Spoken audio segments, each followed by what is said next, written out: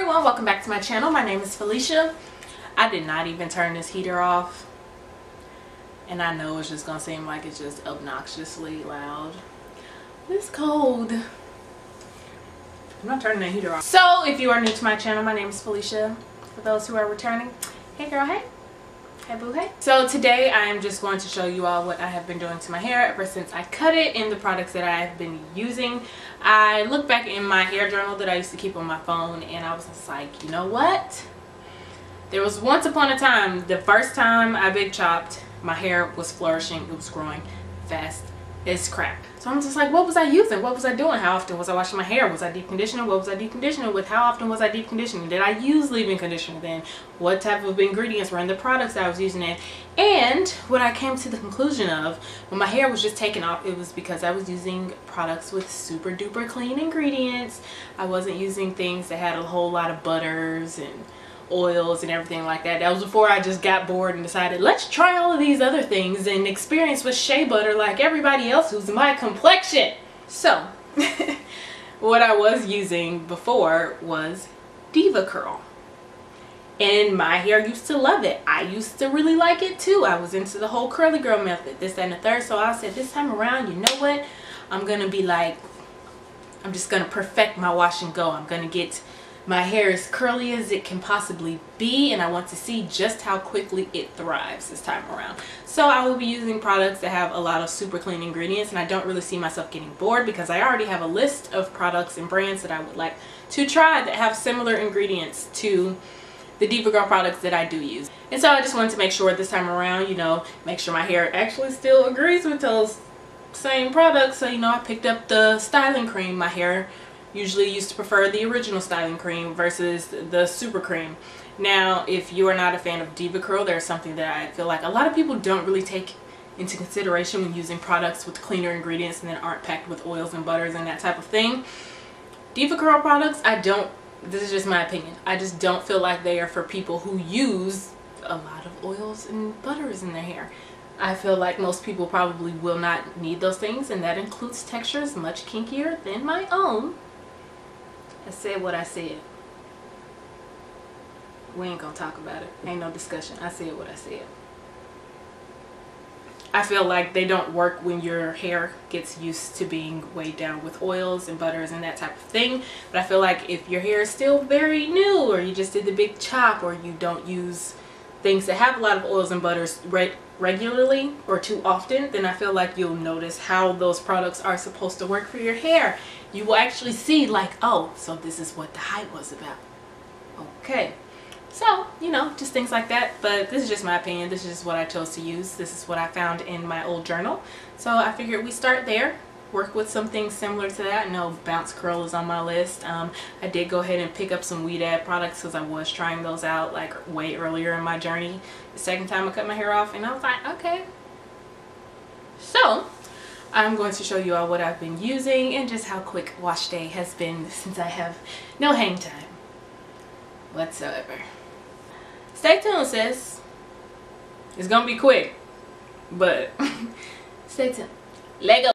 So the first thing that I do when I hop in the shower, I spend a lot more time with water than I used to. So even though I did cut some of these clips a little short, I rinse my hair for quite a good while just so I can make sure that my first step is always real hydration, which comes from water. So I do that thoroughly right before I start my cleansing process. So that usually lasts honestly for about maybe three minutes, two to three minutes. I don't have much hair on my head. I don't need to be in there all day long. So, you know, but I give it a good rinse, kind of rub on my scalp a little bit to loosen up any dirt or anything like that before I go in with my actual cleanser, just so it does not have to work way harder than it should.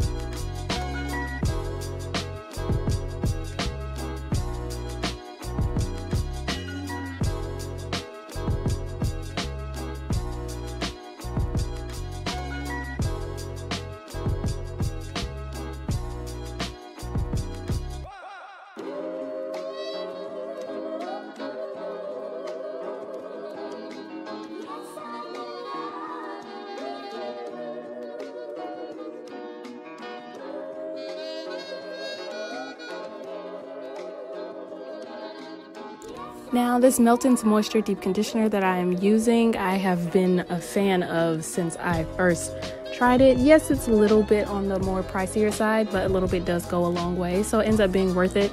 Even when my hair was much longer, it gives my hair juicy life. Okay, honey? So much life it makes me want to do all of this for no reason. Your hair just in there feeling like butter, marinating, you just getting your life together.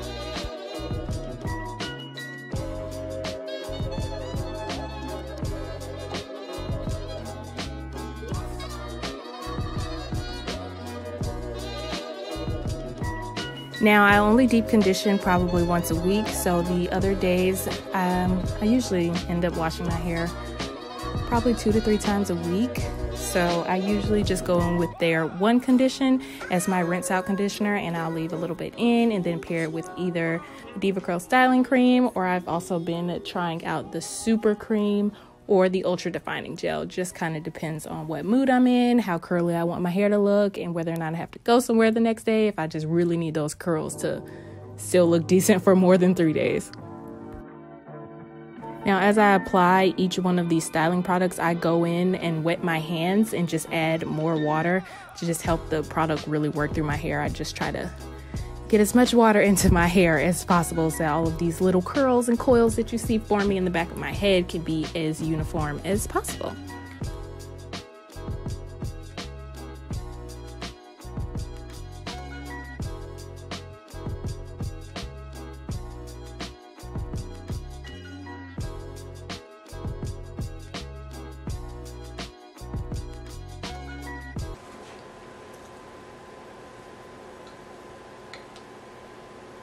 Probably eat Kit Stacks for the rest of my life. I'm fine with that. So you guys, that was my wash day. This is what my hair looks like fully dry. The only thing that I noticed I did not mention on my edges to keep them laid just a little bit.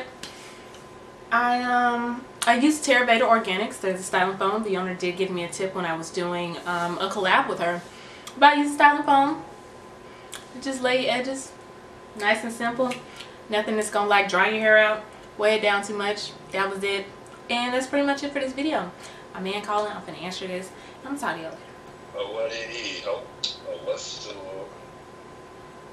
I can't play it. Just keep in touch. Excuse me.